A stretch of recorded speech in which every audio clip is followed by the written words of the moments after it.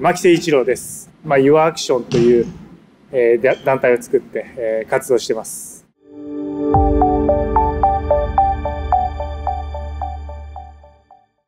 えー、子どもたちの支援であったり、えー、災害の支援活動をしています。まあ、16日、本心があったその夜が明けた段階で自分で覚悟を決めて日本の皆さんに情報を発信しよう物資を集めようってなった時には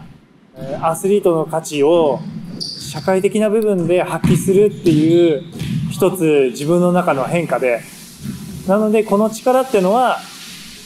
思う存分発揮したいなっていう。でこう共有して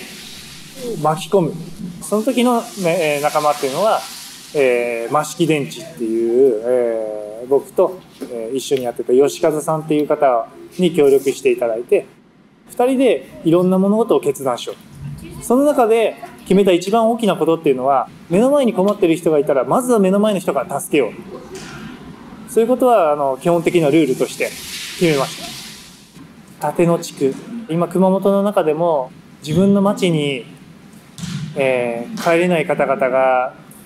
たくさんいらっしゃる地域ですね。一人のお母さんからメッセージをいただいたんです。メッセージをいただいた次の日かな。行ったんです僕。そこから交流がスタートして、えー、一緒に、えー、七夕をやったりいろんなアーティストの方々が歌いに来てくれたりどんどんどんどん明るくなってそして自立していくっていうのを一緒になんていうのかな、こう、復興していくというか、やっぱり今までの熊本を取り戻すってだけだったら悔しいんですよ。前に進めエネルギーが増したね。そういう熊本を目指したいですよ。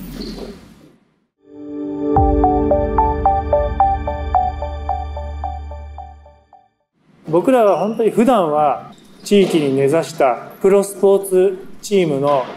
選手として皆さんにどちらかというと支えられて支援してもらって成り立ってるっていうのを日々実感してたんですね今度は自分がそういう地域の人だったりそういう、ま、皆さんを助けなきゃ支えなきゃっていうもう本当にその思いのみで動いてましたはい。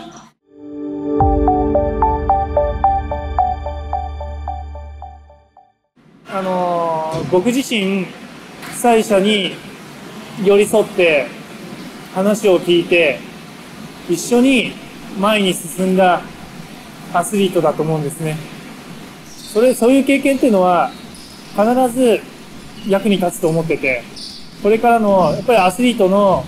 価値にもなると思いますし、アスリートの今後を支援していく中でヒントになるものだと思ってるんですね。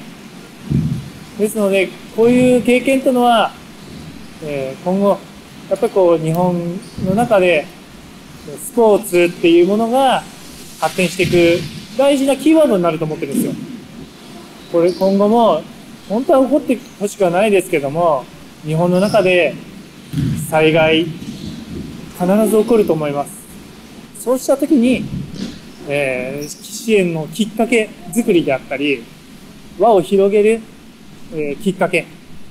手助けっていうのができたらなと思ってます。